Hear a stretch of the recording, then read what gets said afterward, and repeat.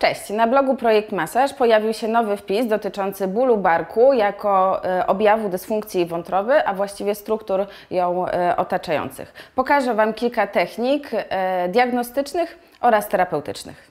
Wątroba znajduje się na wysokości piątego międzyżebrza po stronie prawej, szóstego po stronie lewej oraz na wysokości prawego łuku żebrowego. Od tyłu TH12 TH8, TH9.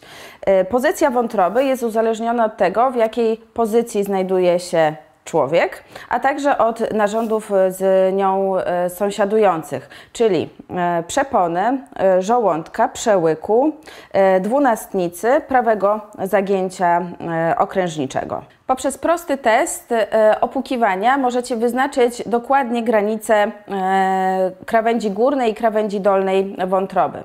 E, wątroba będzie dawała nam dźwięk wytłumiony, żołądek dźwięk bębenkowy, klatka piersiowa dźwięk pusty. W ten sposób możecie sprawdzić, czy wątroba nie jest w ptozie albo czy nie dotyczy jej hepatomegalia.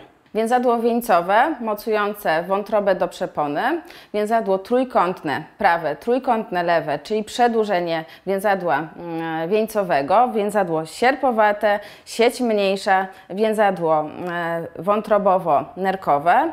E, są to wszystkie więzadła wątroby, ale najmocniej będą ją mocować więzadła wieszadłowe, czyli trójkątne prawe, lewe oraz e, więzadło wieńcowe. Do tego jeszcze musimy zaliczyć efekt turgoru, czyli możliwość zajmowania miejsca przez inne narządy, na przykład w wyniku wycięcia jakiegoś narządu, a także e, różnica podciśnienia pomiędzy klatką piersiową a jamą brzuszną. Dzięki temu wątroba w naszym ciele waży dużo mniej. Między innymi od tych struktur zależy mobilność oraz motylność. Mobilność jest to ruch ciała związany z przeponą, która będzie zmieniać relacje przestrzenne pomiędzy narządami, będzie odkształcać je. Motylność jest to ruch wewnątrzpochodny każdego narządu, będzie umożliwiał mu zmianę kształtu oraz morfologię. Motylność oraz mobilność są ze sobą stricte związane. Zaburzenie motylności zazwyczaj wynika z zaburzenia jego mobilności. Utrata mobilności będzie powodowała zwiększenie napięcia e, w obrębie powięzi, otoczek narządowych, więzadeł, będzie utrudniać odpływ krwi i chłonki, czyli prowadzić do nierównowagi autonomicznej.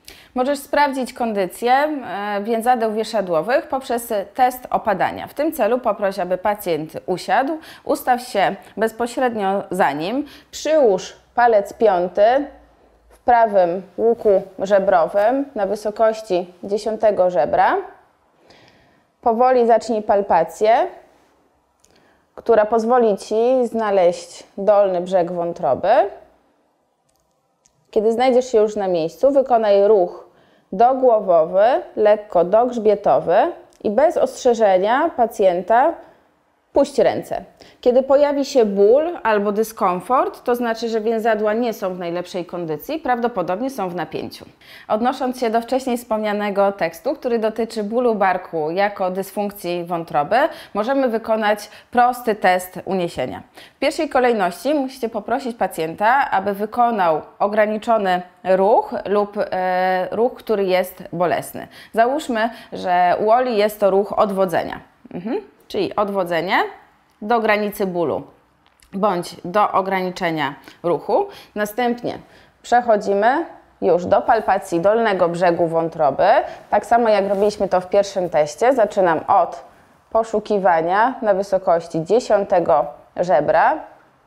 Delikatnie wchodzę tkanka po tkance. Unoszę wątrobę dogłowowo, dogrzbietowo i proszę pacjenta, aby wykonał ten sam ruch. Testujemy, czy zakres ruchu zwiększył się, czy ból e, również e, się zmniejszył bądź też zniknął. Jeżeli ten test się potwierdzi, e, możemy od razu z techniki diagnostycznej przejść do techniki terapeutycznej. Wtedy nie puszczamy chwytu, tylko delikatnie, poprosząc pacjenta o wdech i wydech, na wydechu idziemy do głowowo, do kranialnia. Wdech, Utrzymuję pozycję rąk, wydech. Przesuwam się znowu do góry, tyle ile pozwala mi tkanka.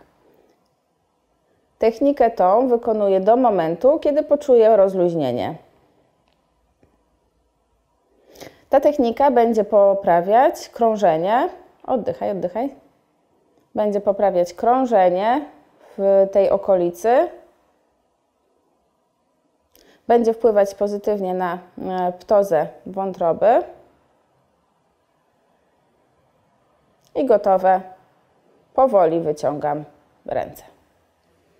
Po e, technice już terapeutycznej, znowu oczywiście prosimy pacjenta, żeby wykonał ruch odwodzenia. Testujemy.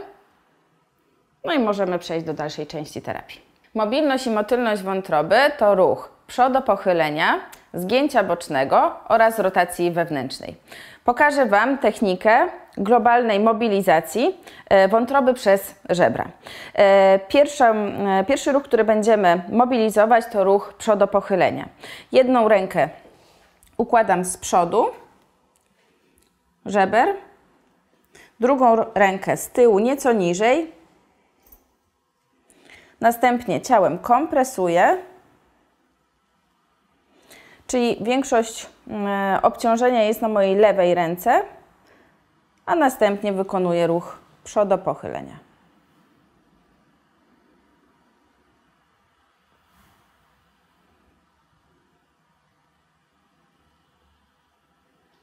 Kolejnym ruchem będzie ruch zgięcia bocznego. Przekładam ręce tak, aby znalazły się na linii pachowej.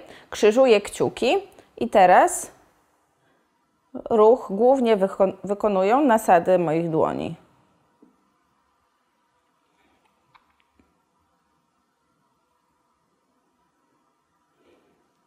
Ostatnim ruchem będzie ruch rotacji wewnętrznej. Przykładam ręce jedna na drugą, są e, nasady w linii pachowej, a następnie rolując się przesuwam się do rotacji wewnętrznej. Nie zapomnijcie o kompresji żeber.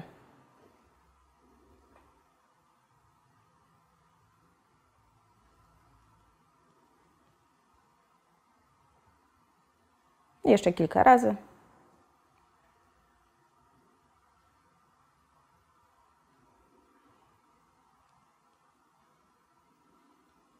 Z mobilnością i motylnością wątroby możemy pracować przez żebra. Będziemy mieć ruch przodopochylenia, zgięcia bocznego oraz rotacji wewnętrznej. Rozdzielimy te ruchy, zaczynając od, e, od przodopochylenia, ale najpierw o tym, jak ustawić pacjenta. Pamiętajcie, aby miednica e, oraz barki nie były zrotowane. E, jeżeli macie bardzo małą przestrzeń do pracy na brzuchu, możecie podłożyć coś od dołu, wtedy będzie Wam dużo łatwiej.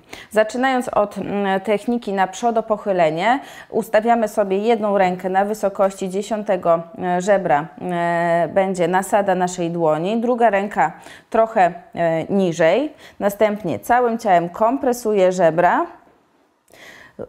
Większość ciężaru mojego ciała będzie na ręce lewej i następnie kierując się dogłowowo mobilizuję wątrobę do przodu pochylenia. Nie musicie prosić pacjenta o pogłębione wdechy i wydechy. Można to zrobić niezależnie. Drugim ruchem, który będziemy mobilizować, jest ruch zgięcia bocznego. Układam ręce nieco bliżej, tak aby znalazły się w linii pachowej. Kciuki są zgięte. Większość pracy będzie wykonywała nasada mojej dłoni prawej i lewej. Mobilizujemy do zgięcia bocznego. Ostatni ruch, który chcę Wam pokazać, to ruch rotacji wewnętrznej. Układamy jedną rękę na drugiej, nie ma znaczenia, która jest wyżej, która jest niżej i przez ruch rolowania przechodzimy do rotacji wewnętrznej.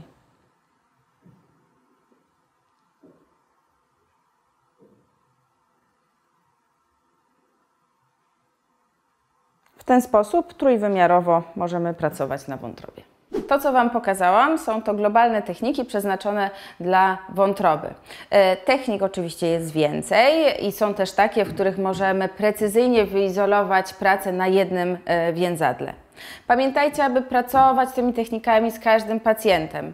E, dzięki nim terapia będzie trwała krócej, będzie szybsza, a przecież przychodzą do nas osoby, które nam zaufały. Pamiętajcie, że aby zacząć pracę z wątrobą, należy wykonać testy bezpieczeństwa. Test Murphy'ego oraz test aorty.